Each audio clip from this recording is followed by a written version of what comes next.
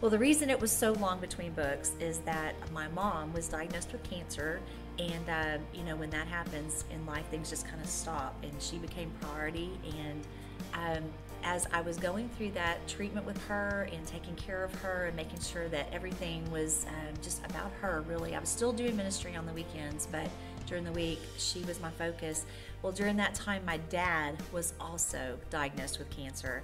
So I, I'm an only child, and I had two parents going through cancer treatment at the same time.